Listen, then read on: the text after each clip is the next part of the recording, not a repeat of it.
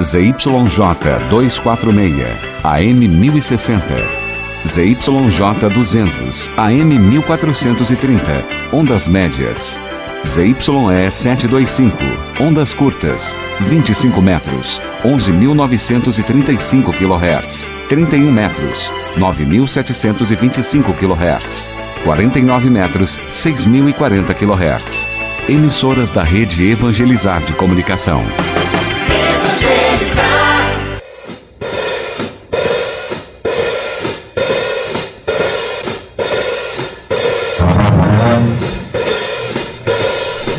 Dia para você que sintoniza, você que acompanha a programação da Rádio Católica da Família Brasileira. Você está na Evangelizar, sintonizado em AM 1060, 1430, ondas curtas em todo o Brasil e fora dele e em qualquer lugar do planeta por meio das plataformas digitais onde estamos presentes. A partir de agora, tem programa Diálogo anunciando a esperança e combatendo a injustiça. Como é bom a gente se encontrar aqui neste lugar. Na Evangelizar, Glaucio Pozo com você.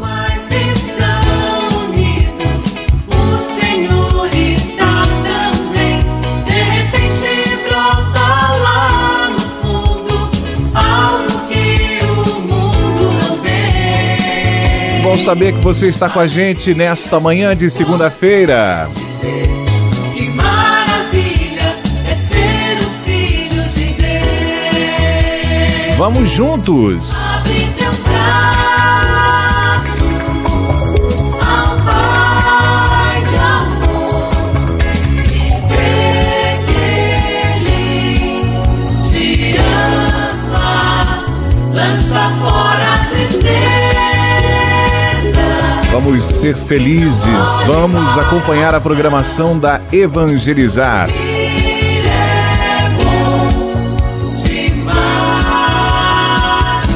Sorrir é bom demais. Sorria junto com a gente. Bom dia, associado.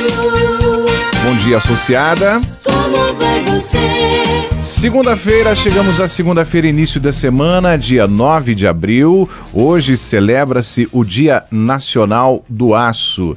Estamos na segunda semana do tempo de Páscoa. É o tempo litúrgico da ressurreição, é o tempo da renovação e a partir de agora tem programa Diálogo. Eu, Glaucio Pozo, estarei com você apresentando este programa em substituição ao Sérgio Silva, o titular do Diálogo que está afastado para tratamento de saúde.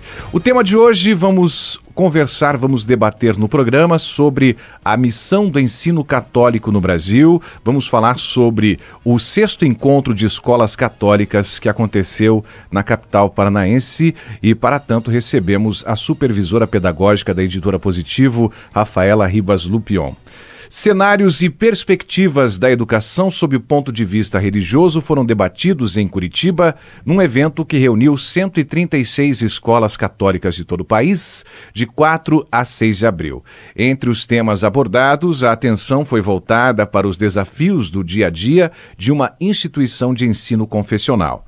A programação trouxe palestras sobre gestão, como conciliar a missão religiosa e educadora com a viabilidade do negócio e a atuação das escolas católicas no mundo pluralista. O objetivo do encontro era orientar sobre os cenários econômicos, políticos e socioculturais. O evento, em sua sexta edição, é promovido pela editora Positivo e dirigido a gestores de instituições conveniadas ao sistema positivo de ensino que respondem por 61 mil alunos. 9 e 4 agora. Bom dia, Rafaela, tudo bem? Bom dia, Glaucio, tudo bem? Bom dia a todos que estão nos ouvindo nesta manhã. Obrigado por, por participar do programa, obrigado por estar aqui. Seja muito bem-vinda à Rádio Evangelizar. Então, esse encontro aconteceu na semana passada, né? Vamos fazer um, um, uma retrospectiva, um rescaldo é, desse, desse evento que aconteceu. Quais foram os benefícios diretos desse encontro? Bem, Glaucio, o evento ele iniciou uh, no dia 4. Nós tivemos aí, a partir de terça-feira do dia 13, escolas de todo o Brasil chegando à nossa capital.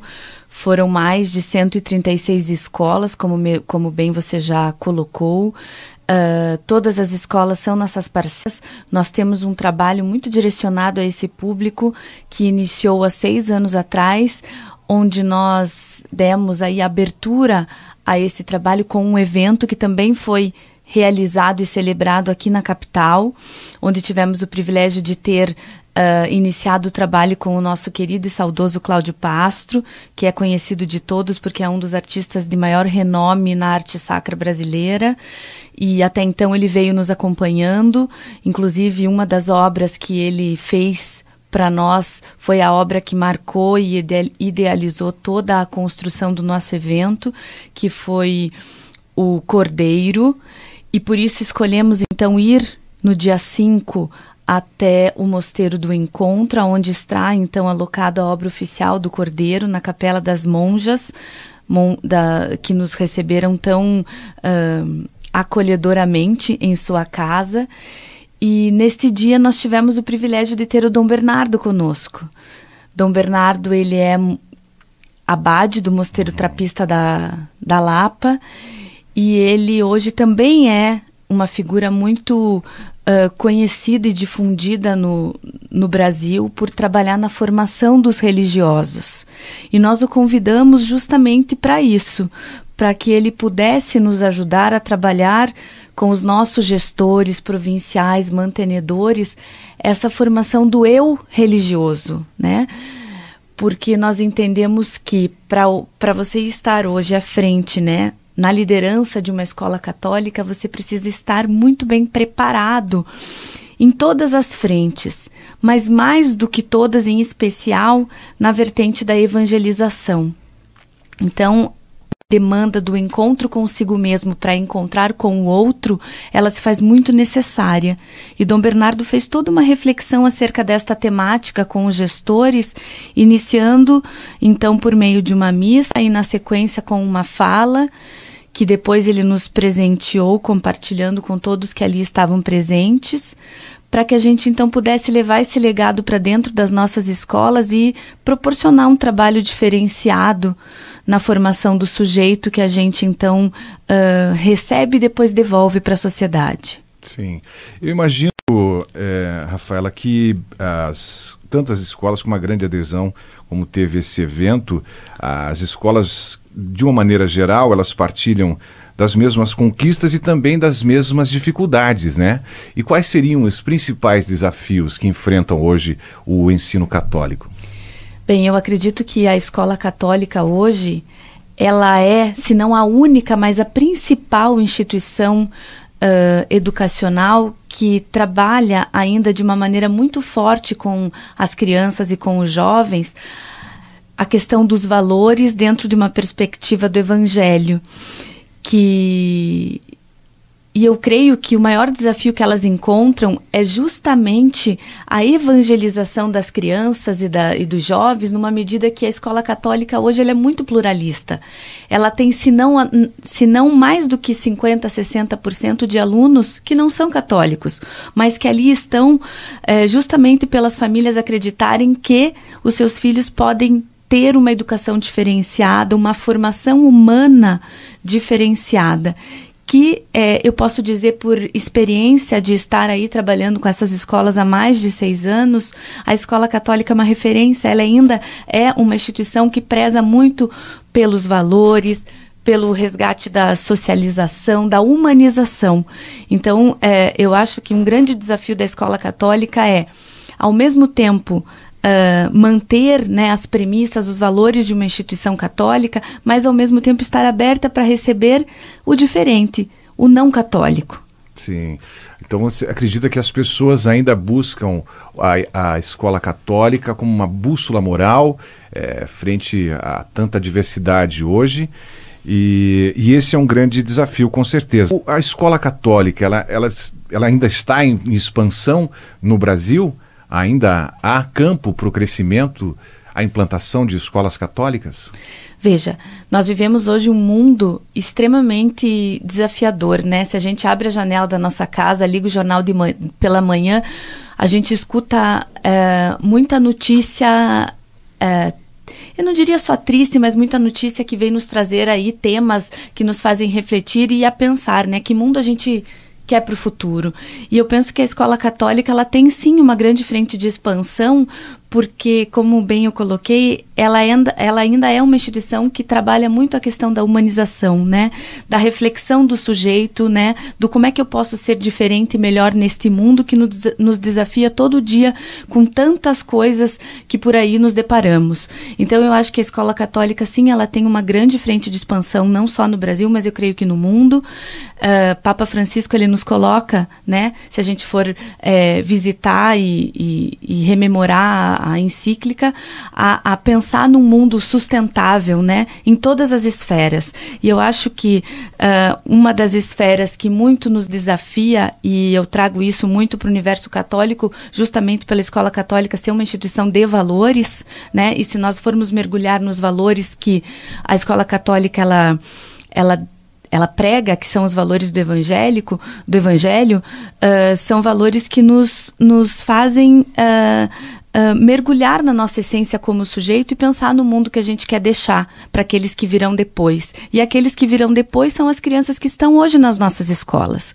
Então, uh, penso sim que temos um grande desafio de expansão no Brasil e posso lhe dizer que elas vêm anualmente crescendo, porque a gente acompanha esses números, né? Claro, nós, enquanto editora, nós oferecemos uma série de soluções uh, educacionais para ela, para elas, e a gente observa esse crescimento justamente por aquilo que a gente gente oferta no mercado que cada vez mais vem nos impor e nos, e nos desafiar a fazer uh, coisas diferentes e melhores para que a gente possa acompanhar, então, toda essa evolução. Maravilha. E o grupo positivo, a editora positivo, é, apesar de não seguir uma doutrina religiosa é, católica são um exemplo de, de gestão de, de negócio bem sucedido. Como é que isso pode é, influenciar? De que maneira passar isso para as escolas católicas, para os gestores de escolas católicas? Veja, a Editora Positiva é uma, é uma organização educacional, né? É, todos nós que estamos ali acreditamos que por meio da educação a gente pode transformar, né? Uh, uh, o mundo, as pessoas, e por isso uh, nós imprimimos movimentos e investimos constantemente em caminhos que nos permitam Uh, uh, chegar mais próximo dessas crianças, destes jovens e auxiliar essas instituições na formação de pessoas mais humanas. Né? Quando a gente até parece dúbio falar pessoas mais humanas, mas é, é justamente de humanização que o mundo cada vez mais necessita. Né? Então. Uh, a gente enxergou, né, nesse universo católico e por isso esse investimento que, que a gente tanto faz aí há mais de seis anos, uma possibilidade bastante significativa de contribuir com a educação das crianças e jovens brasileiros. O Brasil por si é um país que tem origem, né, dentro de uma educação cristã, de uma educação católica. Se a gente revisitar os primórdios, a gente vai observar que tudo começou por meio né, da educação católica. E desde então a gente vem caminhando e caminhando de uma maneira bastante uh, bonita, significativa dentro deste universo, porque se a gente for observar hoje em todos os estados brasileiros nós temos grandes instituições católicas que uh, abraçam um universo bastante grande de jovens e crianças e que, e que imprimem né, movimentos para que a gente tenha uma educação cada vez melhor para essas crianças. E eu acho que a escola católica, como nós, acredita que a gente só vai conseguir transformar o mundo por meio da educação. E por isso é esse investimento e esse movimento que a gente vem fazendo há tanto tempo. Maravilha, é bom saber que essa intenção é, desse bem comum esteja acima de, de qualquer ideologia, de qualquer prática religiosa, e isso que é o importante. Daqui a pouco, logo depois do intervalo, a gente vai voltar falando sobre o livro. O livro que foi lançado nesse, nesse encontro, o livro Uma Gestão em Rede para a longevidade da obra. Daqui a pouco a gente volta falando sobre isso no programa Diálogo com a nossa convidada Rafaela Ribas Lupion. 9 e 14 agora. Todos os dias às 18 horas A Hora do Ângelus, com o Padre Reginaldo Manzotti, aqui na Rádio Católica da Família Brasileira.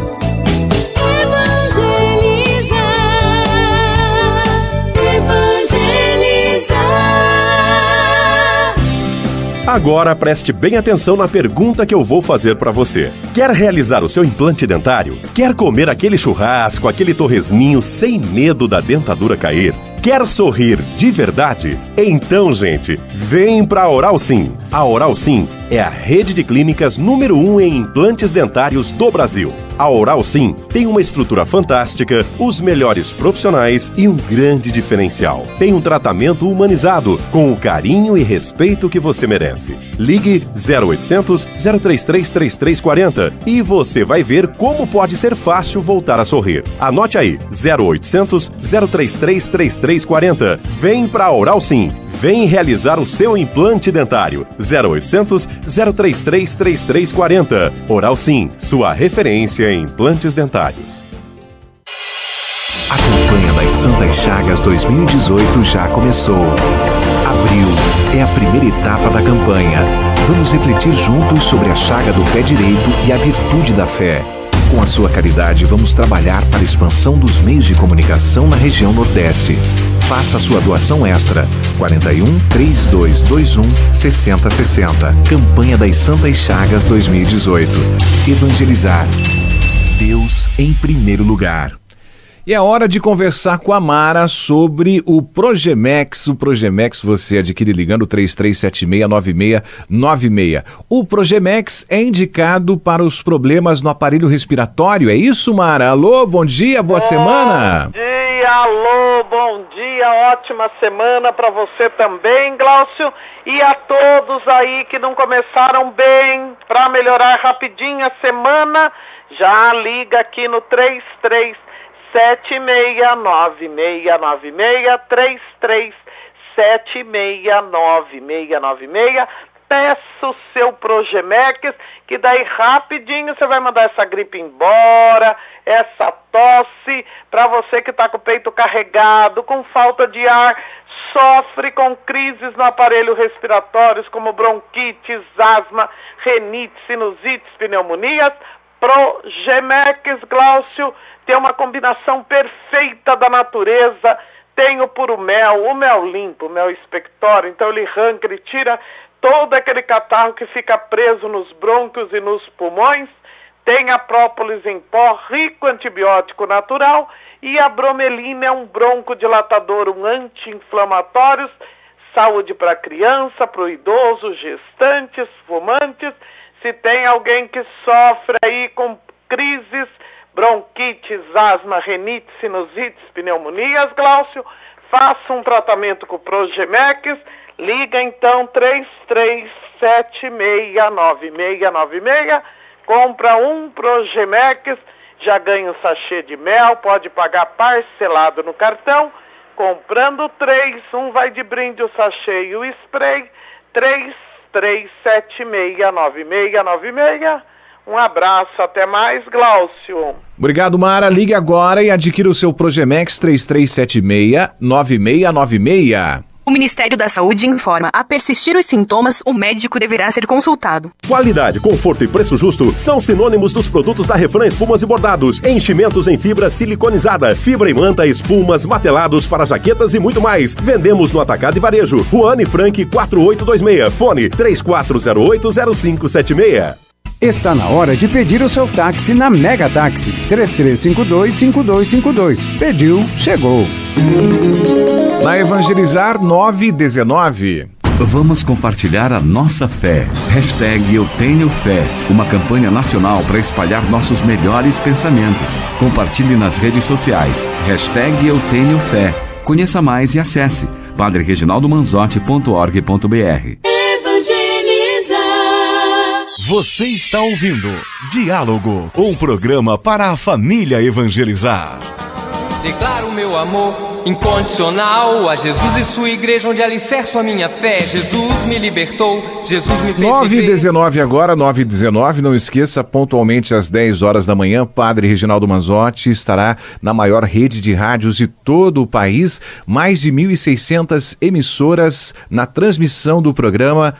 Experiência de Deus acompanha às 10 horas da manhã na programação da Evangelizar. Hoje, segunda-feira, tem Noite de Louvor Salvos pela Cruz e Consagrados a Nossa Senhora, nova série de oração e louvor. Nessa primeira noite, hoje você vai receber uma cruz como sinal de salvação e redenção. Essa cruz vai acompanhar você durante as nove semanas desse encontro desta nova série na Noite de Louvor. Pregação com Ironia Spuldaro, da Missão a Poder de Deus e adoração ao Santíssimo Sacramento com o padre Alberto Gambarini, do Santuário de Nossa Senhora dos Prazeres e Divina Misericórdia, em Itapecerica da Serra. Hoje, dia 9, às 7 da noite, no Anfiteatro das Santas Chagas, anexo ao Santuário de Nossa Senhora de Guadalupe, bem aqui no centro de Curitiba. Entrada solidária, traga, além dos seus familiares, além dos seus amigos, um quilo de alimento não perecível para ajudar as famílias que são regularmente assistidas pela obra Evangelizar. Transmissão ao vivo pela TV Evangelizar. 9 e 20 agora você está acompanhando na Evangelizar o programa Diálogo. Hoje estamos debatendo, conversando com a supervisora pedagógica da editora Positivo, Rafaela Ribas Lupion, sobre o sexto encontro de escolas católicas que aconteceu na capital paranaense. Um dos destaques desse encontro, Rafaela, foi o lançamento do livro Escolas Católicas, uma gestão em rede para a longevidade da obra. Vamos falar sobre os autores, por favor, primeiramente. É, César Nunes, padre Wilson Gro, Vanderlei Soela, irmão Jardelino Menegatti e irmão Afonso Murad. É isso? Faltou alguém? Não, isso mesmo. Uh, nós tivemos o privilégio de tê-los conosco na escrita deste livro. Este livro já é Uh, o segundo da coleção Escolas Católicas. Nós tivemos o lançamento do primeiro no primeiro encontro, que aconteceu há seis anos atrás aqui também na capital. E agora, neste sexto encontro, lançamos é, este segundo uh, exemplar da coleção Escolas Católicas, né, para a longevidade da obra, justamente com o objetivo de ajudar as nossas 136 escolas parceiras a pensarem acerca de temas que se fazem urgentes e necessários diante do cenário educacional e também econômico brasileiro.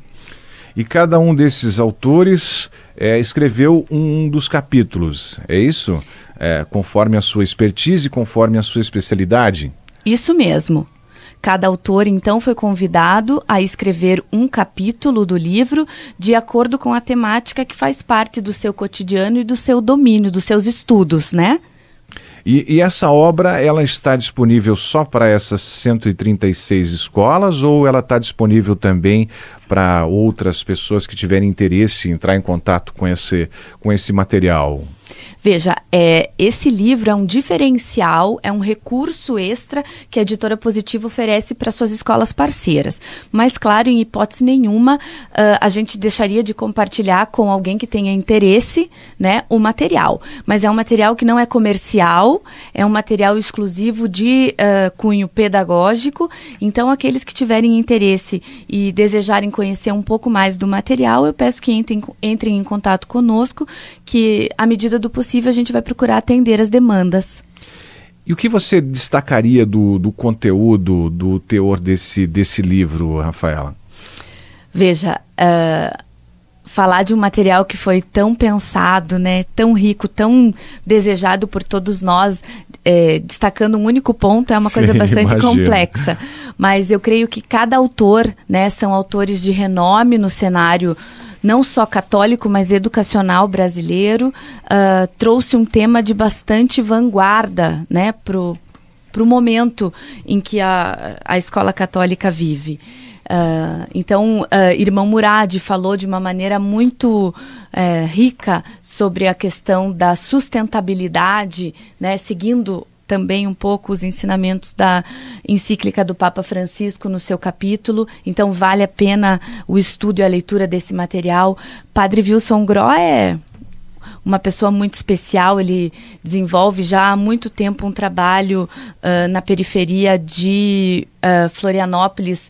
Florianópolis sobre a questão da evangelização. Então, uh, ele nos traz muito a questão da esperança, né, do esperançar. Então, também não tem como não destacar o capítulo dele. Soela, Jardelino, Jardel, o irmão Jardelino é um parceiro nosso de muito tempo por meio da rede La Salle.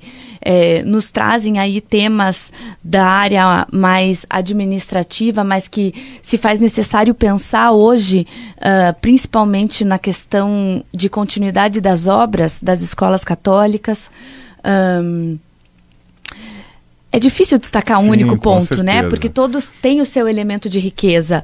Mas eu sugiro que quem tiver oportunidade que faça a leitura de todos os capítulos, cada um tem aí um ponto forte a ser destacado e, e vale a pena mesmo a leitura.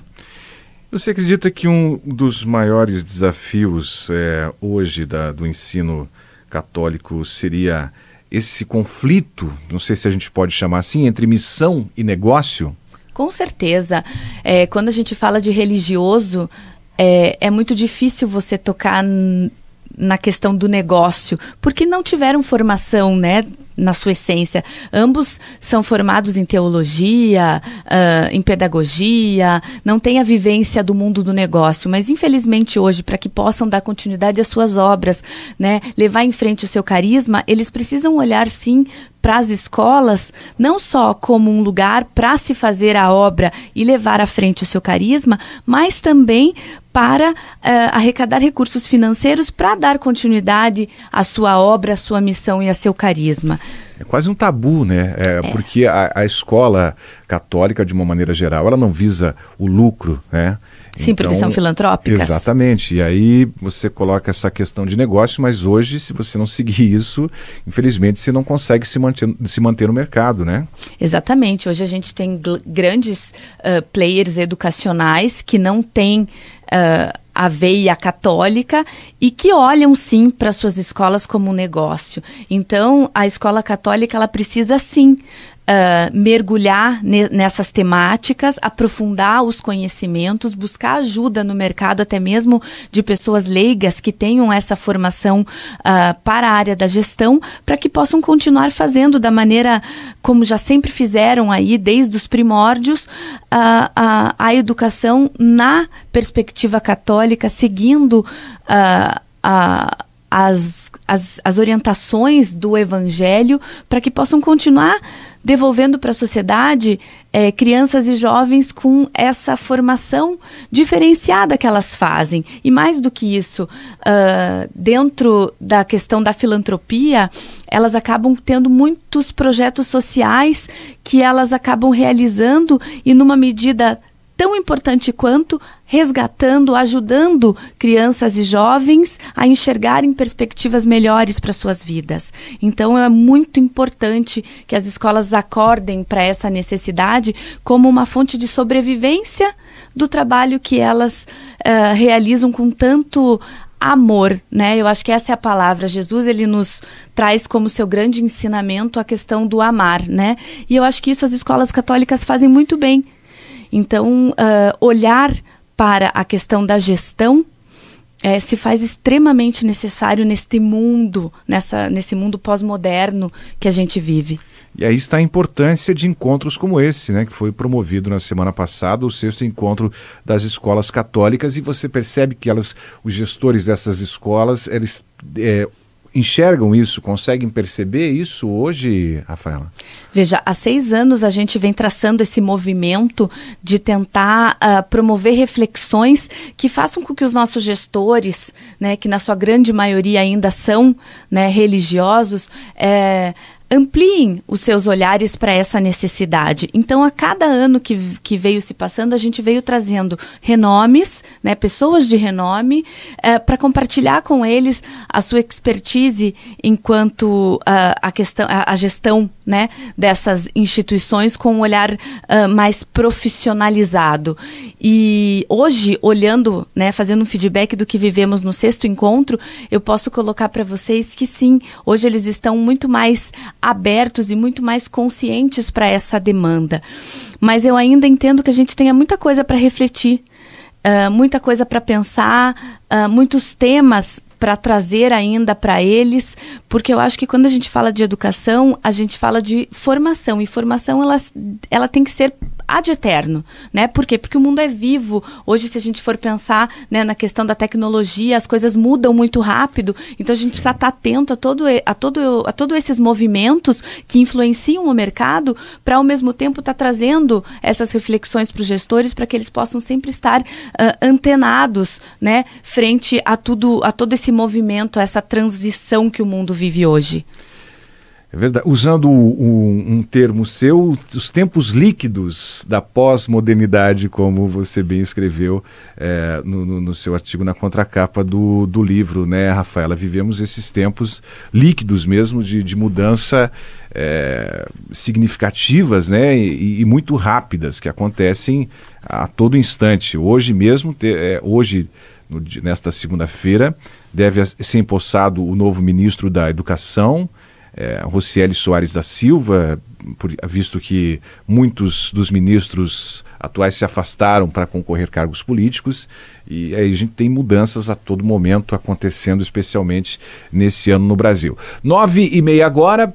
Vamos a mais um breve intervalo e voltamos já para dar sequência ao programa Diálogo de hoje, conversando com a nossa convidada, a supervisora pedagógica da editora Positivo, Rafaela Ribas Lupion. 9 e 31. Quem conhece os caminhos da fé fala com a alma. Eu sempre quis ser mãe, como toda mulher, sempre quis ter o meu filho, mas tive dificuldade. E esse era um sonho nosso. Eu também sempre tive vontade de ser pai e foi aí que eu fiz um pedido para Deus. Eu sou Luiz, ela é minha esposa Helena, hoje moramos em Fortaleza e essa foi a nossa experiência. Essa é a nossa família. Hoje, às 10 horas, Experiência de Deus, o programa de rádio do Padre Reginaldo Manzotti que o Brasil para para ouvir.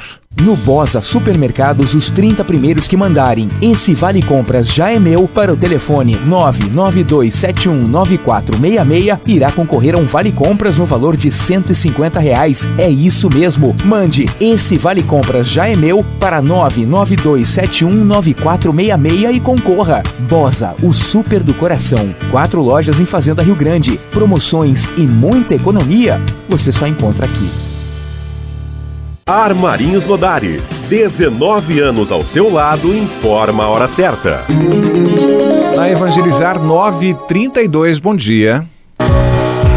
Quando precisar de equipamentos médicos e hospitalares, procure a Hospinet. Lá você encontra a mais variada linha de cadeiras e rodas manuais e motorizadas, cama hospitalar, colchão d'água, andadores, aspiradores, inaladores, medidor de pressão e muito mais. Descontos especiais para compras para doação. Hospinete, venda assistência técnica e locação. Rua Barão do Rio Branco 518 Centro. Fone 3232 8877. hospinete.com.br. Compre seu carro sem entrada. Baragão Veículos 32669422. O Paraná está fazendo o maior investimento da sua história em saneamento. São milhares de obras espalhadas por todo o estado que você não vê, porque a maioria está embaixo da terra. Mas os benefícios você sente na saúde e na qualidade de vida. Quando mata a sede, quando escova os dentes, quando prepara uma refeição. Não é à toa que temos cinco cidades entre as 11 melhores do país em saneamento. E Curitiba é a melhor entre as capitais. Isso é trabalho da Sanepar e do governo do Paraná, sempre a favor dos paranaenses. Sorria mais com a Oral Sim Implantes. Agende sua avaliação. Ligue 0800 033 3340. Comunicado de utilidade pública. A Smart Business Consultoria informa. Você que precisa reduzir urgente o valor da sua parcela e seu contrato, venha até nós e saiba como reduzir no mínimo 30% contratos de imóvel, veículo, empréstimo, cheque especial, entre outros ramos de atividade. E muito importante, contrato quitado também tem ressarcimento. Nos procure para mais informações. Telefone WhatsApp 41 99984 3575. Agora você pode levar a rede Evangelizar de comunicação em todos os lugares com você. Com o aplicativo Evangelizar é Preciso para smartphones e tablets, você acompanha os programas do Padre Reginaldo Manzotti e toda a programação católica de qualidade assistindo a TV Evangelizar ou ouvindo as rádios AM e FM. No mesmo aplicativo, você também pode deixar seus testemunhos e pedidos de oração, tornar-se um associado apoiador da obra, além de comprar os produtos que evangelizam pela loja virtual. Baixe agora mesmo gratuitamente indique Indique para seus amigos e familiares. Disponível na Play Store para celulares Android e na App Store para sistemas iOS. Evangeliza. Você está ouvindo Diálogo, um programa para a família evangelizar. Sou feliz por ser católico. 9h34, agora 9h34, você sabe muito bem, diariamente mais de uma centena de colaboradores são técnicos, produtores, apresentadores, diretores que trabalham intensamente para levar ao ar uma programação de qualidade, de conteúdo inédito, informativo e evangelizador para todo o Brasil. E mais, canais de satélite, transmissores, equipamentos de última geração são indispensáveis para oferecer som e imagem de alta definição. Além disso, tem cenários, estrutura para eventos e transmissões que são locados ou adquiridos para acompanhar os momentos de espiritualidade promovidos pela obra e pelo Padre Reginaldo Manzotti. Ajude-nos a manter tudo isso em pleno funcionamento participando da campanha das Santas Chagas 2018. Somente com a sua colaboração vamos poder seguir nesse compromisso e na missão de evangelização e caridade. A primeira etapa, agora no mês de abril, contempla a chaga do pé direito para despertar em nossos corações a virtude da fé. Você recebe, junto com o Jornal do Evangelizador de abril, o primeiro boleto extra. Contribua e, ao final da campanha, receba uma placa ornamental com a oração das Santas Chagas para a proteção do seu lar e da sua família. Campanha das Santas Chagas 2018, olhai pelo Brasil nesta primeira etapa, visando a expansão da rede Evangelizar de Comunicação na região Nordeste. Todas as regiões serão contempladas na campanha deste ano. Saiba mais, padrereginaldomanzotti.org.br ou ligue 41 3221 6060, dígito 1. Juntos evangelizamos mais. 9h36, agora não esqueça, pontualmente às 10 da manhã, Padre Reginaldo Manzotti estará em rede para todo o Brasil, na maior rede de rádios do país, apresentando o programa Experiência de Deus desta segunda-feira. Enquanto isso, seguimos no programa Diálogo, conversando com a supervisora pedagógica da editora Positivo, Rafaela Ribas Lupion. E a pergunta agora, Rafaela, é como, como ensinar o, o carisma da escola católica numa cultura tão pluralista, tão, tão diversificada como a gente vive hoje nesse mundo contemporâneo? Veja, eu acho que é um grande desafio para os dirigentes uh, das escolas católicas e para quem está à frente das congregações uh, a perpetuação do carisma. Né? Então, é, penso que uh, trabalhar com a formação das equipes, não só de professores, mas de todos aqueles que compõem a comunidade educativa, trazendo momentos de aprendizado e de reflexão sobre a verdadeira essência de cada carisma, de cada congregação, seja um ponto de atenção para todas as, as congregações brasileiras. Hoje, até mesmo pela vivência que a gente tem de acompanhar essas escolas em todos os cantos aí do nosso país, o que a gente percebe que é a maior preocupação, mas ao mesmo tempo o maior desafio destas congregações é fazer com que o carisma ele transcenda uh, os muros da escola.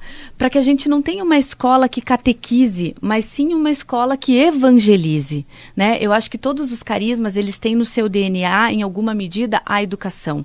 Cada um com uma frente. Então, por exemplo, nós temos hoje parceiras da editora Positivas escalabrinianas, que no carisma tem a questão do migrante.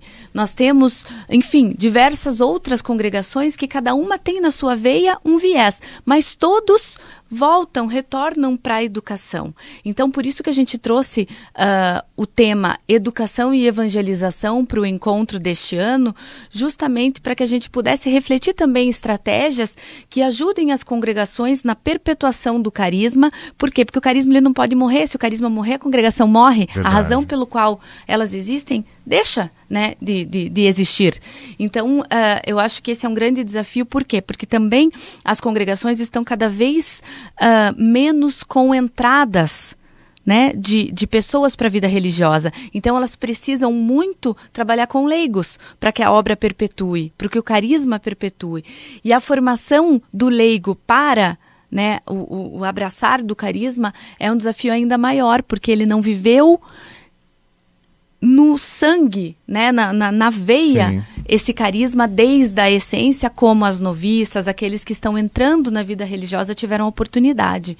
Então, esse é um grande desafio, um grande ponto de atenção para as congregações como um todo no Brasil. E por isso resolvemos, então, também uh, trazer essa temática para o evento, por, por é, viver com elas essa angústia, né? De como fazer com que os nossos carismas continuem perpetuando por meio das nossas obras. E especialmente, mas existe algum recurso pedagógico para que para chamar, despertar atenção no, no, no, aluno sobre o ensino religioso? É porque muitas pessoas é, que procuram a escola católica, muitas vezes já num, num, num é, num estágio de educação mais avançado, né? Digamos, um jovem, ele estudou, teve a formação inicial fundamental dele numa escola é, secular e depois é matriculado numa escola religiosa. Então ele não vive essa religião dentro de casa e aí passa a integrar uma escola católica. Como despertar o, o interesse desse, desse aluno, desse estudante para o ensino religioso, para o carisma? Veja, hoje a gente não, nas escolas católicas, justamente como a gente veio conversando, por ela ter um universo muito grande de alunos que não são católicos, uh, a gente vem caminhando para uma proposta de educação religiosa um pouco diferente, né? E esse foi um desafio que nós abraçamos também, porque nós lançamos uma coleção de uh, ensino religioso justamente pensando nesta demanda.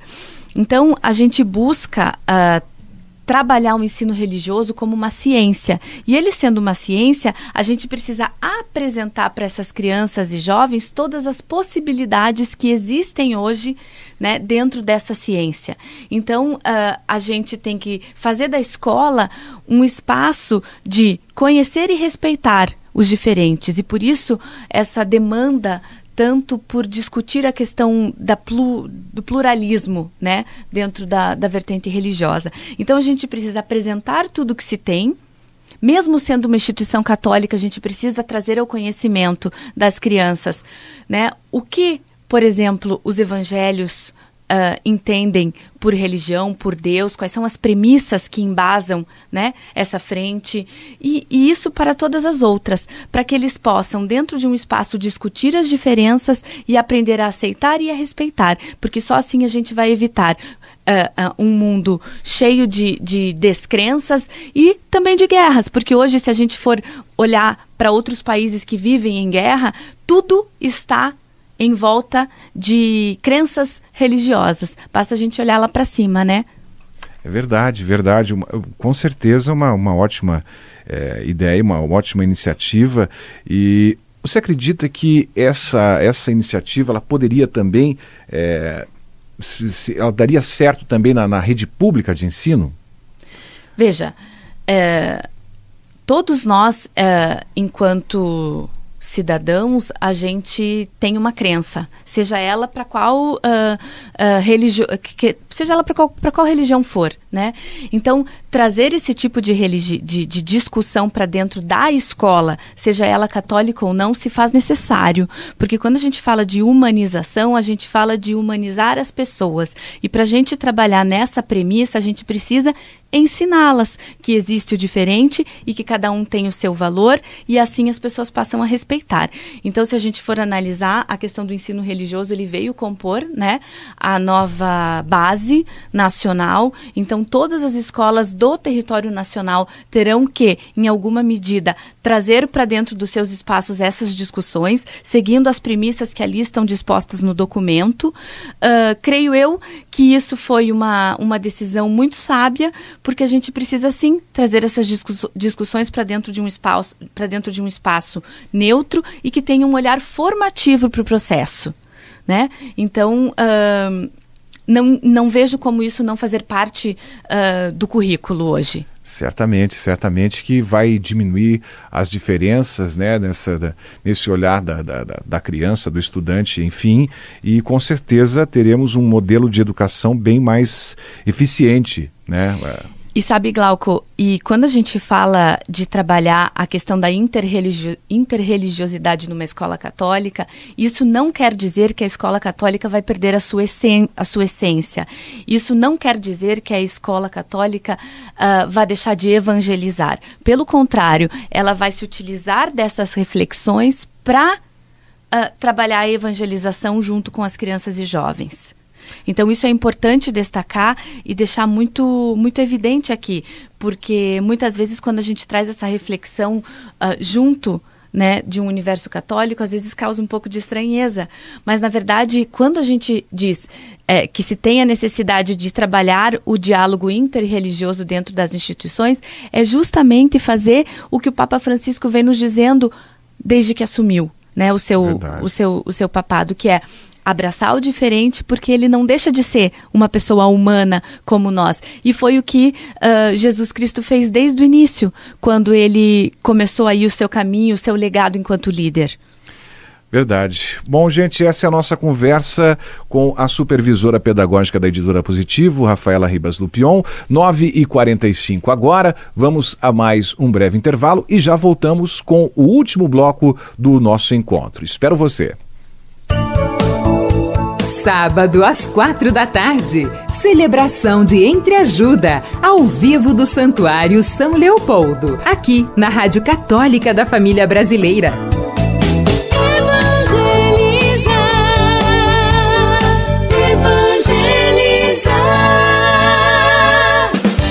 Repor algum dente não quer sair da cidade? Faça implantes dentários na clínica Orto Implante com equipe especializada e laboratório próprio. Proporciona mais agilidade e qualidade em seu tratamento. Agende já a sua avaliação. 3023 5051.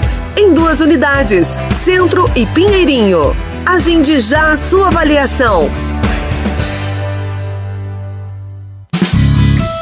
Viva com mais saúde e economia. Tome ômega 3, óleo de peixe de águas profundas e frias que auxiliam na manutenção de níveis saudáveis de triglicerídeos e colesterol e protege o seu coração. São 120 cápsulas de ômega 3 de 1 grama, eu disse 1 grama, por 25 reais. Só na farmácia Rui Barbosa, na rua André de Barros 48, próximo à Santa Casa. Fone 3222-2853. 3222-2853. A persistir os sintomas, o médico deverá ser consultado. thank you Você, mãe, esposa, tia ou avó que está sofrendo ao ver algum familiar seu se envolvendo no alcoolismo, não deixe que a situação fique fora de controle. Ligue agora para o Alero Drink. Apenas duas vezes por dia, 15 gotinhas, a pessoa vai tomar e não vai nem perceber. O Alero Drink entra na corrente sanguínea e vai limpando o álcool do sangue, causando aversão à bebida alcoólica. Por isso, quem faz o uso consegue ter o resultado eficaz em apenas 7 dias. Ligue 0800 887 0906. Os 100 primeiros que ligarem vão comprar em 10 vezes sem juros no cartão com 20% de desconto e a primeira parcela para daqui a 30 dias. Mas corre porque essa promoção acaba rápido. Alero Drink 0800 887 0906. Tire a pessoa que você ama do álcool. Greves, falta de pessoal, altos índices de violência são fatores que afetam a entrega de correspondências no Brasil. Se você não recebeu o Jornal do Evangelizador e o boleto para contribuição mensal, utilize o boleto que está no verso de cada folha no calendário da obra. Cada mês traz no verso da folhinha o código de barras para sua doação para esta obra liderada pelo padre Reginaldo Manzotti. Faça o pagamento nas casas lotéricas ou banco de sua preferência. E se você tiver qualquer dúvida, ligue 41 3221 6060 ou envie mensagem para o WhatsApp 41 8800 6060. Sua valiosa contribuição mantém o trabalho de evangelização e ajuda a transformar vidas. Evangelizar é preciso. A democracia se faz com diálogo e se realiza com compromisso. Democracia também é feita com doação e se completa quando existe colaboração. Democracia se faz mesmo é com participação de todos. Venha fazer parte dessa ação. Cadastre-se como mesário voluntário no site do TRE do seu estado. Vem pra urna. Eleições 2018. Justiça Eleitoral. Você está ouvindo Diálogo, um programa para a família evangelizar. Vem, eu mostrarei que o meu caminho te leva ao Pai. 9 e 49 Diálogo segue hoje com a apresentação de Glaucio Pozo. Daqui a pouco, pontualmente às 10, teremos a apresentação do programa Experiência de Deus ao vivo para todo o Brasil com o Padre Reginaldo Manzotti. Aliás, Padre Reginaldo Manzotti, que juntamente com a obra de Maria convida os fiéis para uma peregrinação pelos caminhos de São Paulo Apóstolo pela Grécia e Turquia, passando por Atenas, Istambul e muitas outras cidades. Muito além de uma viagem turística ou educativa, Padre Reginaldo Manzotti será o guia espiritual que vai te conduzir por esta maravilhosa experiência com Deus, refazendo os passos do apóstolo dos gentios. Saída dia 1 de setembro deste ano, garanta a sua presença e faça agora mesmo a sua reserva. Informações você obtém ligando no 41 3221 6021 3221 6021 ou acessando o site padrereginaldomanzotti.org.br. 9h50 agora, 9h50, você está acompanhando o programa Diálogo. Hoje estamos debatendo a missão do ensino católico no Brasil, recebendo a nossa convidada, a supervisora pedagógica da editora Positivo, Rafaela Ribas Lupion. Rafaela, não há como é, você educar o, o, simplesmente o focar o, o, o, ensino no aluno, no estudante, né? Essa é, é a, o carisma deve se estender também à, à família, né? De que maneira? Veja, quando a gente fala de educação integral, que é um dos grandes propósitos das escolas católicas, a gente abre né, uma, uma janela para a necessidade de trazer a família para dentro da escola, para que ela faça as reflexões sobre as demandas de formação das crianças e jovens no mundo de hoje e as coloque também a, a sentir as necessidades e se atualizar, porque educar em tempos líquidos, né, como a gente conversou antes, é muito desafiador. E aí eu posso falar como mãe, né? É, eu tenho dois filhos pequenos, uh, já tive a oportunidade de estar em escola, dentro de sala de aula, há anos atrás, e percebo que as demandas que eu tinha enquanto professora daqueles meninos hoje são completamente diferentes das demandas que eu tenho como mãe. Né? Hoje os pais eles acabam que têm um tempo menor com as crianças e com os jovens. Essas crianças ficam um maior tempo na escola, acabam que passam o dia inteiro na escola e tem o tempo uh, praticamente da noite e dos finais de semanas uh, com as famílias. E essa ausência Uh, de tempo, e não por culpa dos pais, porque é uma demanda do mundo moderno, é, a necessidade de pai e mãe estarem fora para trabalhar, para garantir o sustento da família. Uh, ela imprime uh, necessidades diver, diferentes dessas famílias, né? Aquela coisa que nós tivemos uh, antigamente, a presença da mãe de uma maneira mais integral em casa, que nos acompanhava em todos os sentidos, hoje as crianças já não têm mais e a escola acaba que assumiu um pouco desse papel.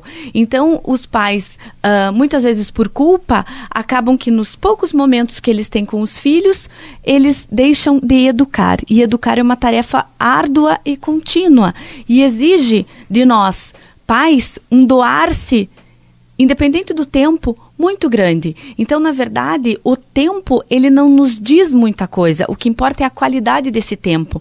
Então, se eu pudesse uh, deixar um, um, um, uma mensagem para aqueles que nos ouvem hoje, é que pais, o tempo que vocês eh, estiverem com os seus filhos, uh, façam com que esse tempo seja de qualidade e um tempo uh, da educação pelo exemplo né? Então, enquanto estiverem com os filhos, deem o exemplo de como é que vocês querem que ele seja uh, cidadão desse mundo. Então, uh, eduque pelo amor, eduque pela paz, eduque pelo exemplo de como que você quer que ele trate o outro à medida como você trata ele em casa. Né? E isso a escola católica ela vai representar naquele outro tempo que seu filho vai estar uh, dentro dessa instituição com maestria, porque dentro das instituições católicas uh, nós trabalhamos da por meio da educação como exemplo, que foi a educação e o exemplo que Jesus Cristo nos deixou.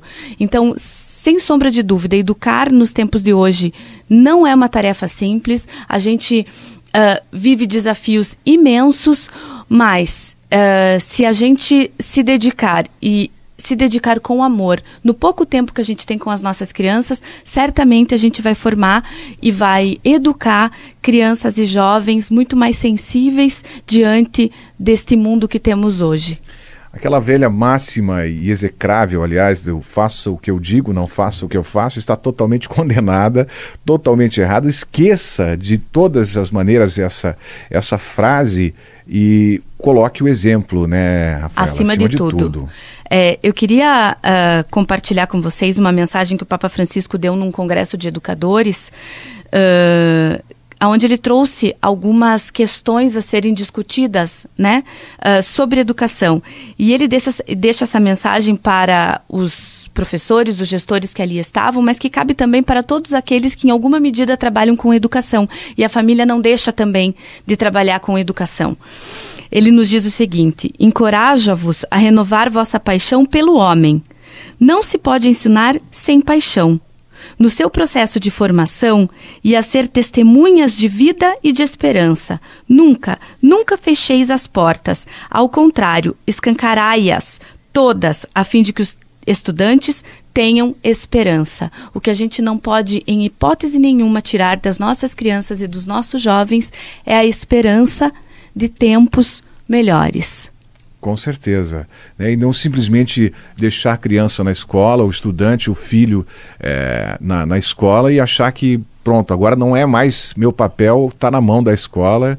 Né? Passar essa responsabilidade, transferir essa responsabilidade toda para o educador. De jeito nenhum, porque tem coisas que só pai e mãe, só aqueles que uh, uh, são os responsáveis por aquela criança, por aquele jovem, pode fazer né? É, por mais boa vontade e por mais doação que a escola, o professor, o gestor possa ter, pai, a figura né, do pai, da mãe ou da, do, dos responsáveis pelas aquelas, por aquela criança, por aquele jovem, ela é, é não tem como substituir. Né? Então, de fato, tem coisa que é pai e mãe, é o responsável que precisa fazer né? E a criança precisa se sentir amada acima de tudo. Uh, eu não conheço nenhuma criança que por excesso de amor tenha sido uma pessoa ruim é. ou maldosa. Com certeza. Bom, estamos trabalhando para que a educação, e especialmente a educação eh, com as virtudes cristãs, ela se propague cada vez mais. Para isso estamos aqui, para isso existe toda a rede Evangelizar de Comunicação. E eu quero agradecer imensamente a sua presença, a sua participação no programa. Rafaela Ribas Lupion, ela que é supervisora pedagógica da editora Positivo, esteve presente participando do programa Diálogo, nesse debate mais do que interessante. Rafaela, então, para as pessoas que se interessaram por essa conversa, é, pela obra, pelo, pelo livro Escolas Católicas, uma gestão em rede para a longevidade da obra, como elas podem fazer para entrar em contato? De que maneira? Veja, é, nós temos vários canais de comunicações, né, na editora, mas nós, tem, nós temos um canal que é mais simples e direto, que é um 0800, né, é, eu posso compartilhar com claro, eles. Claro, por favor. 0800 725 3435 é da nossa central. Nós temos toda uma equipe à disposição para ajudá-los no que for preciso e estiver a nosso alcance. Uh, nós de fato acreditamos que a educação ela pode transformar o mundo e por isso nós estamos aí à disposição daqueles que em alguma medida também compram essa mesma ideia, esse mesmo projeto, né? É, não só educativo, mas de vida também. Então eu quero agradecer em nome da editora e nos colocar à disposição de vocês. Maravilha, muito obrigado mais uma vez. Obrigado a você que esteve comigo, você que nos acompanhou no programa. Vem aí o Padre Reginaldo Manzotti, o Experiência de Deus. Tchau. Evangelizar.